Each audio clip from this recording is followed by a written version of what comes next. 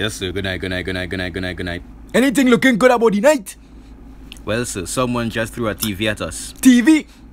Why again TV to throw? Well, we didn't say you threw it, but the person who threw it hand greasy. I look like I was eating anything greasy. Your hand and your lips looking very greasy. My hand looking greasy to you, sir? We just want to find the person that did it and leave you alone in peace. What kind of TV it is? It was a sharp TV. Nah, I don't have that kind of TV here. I don't buy nothing from Court.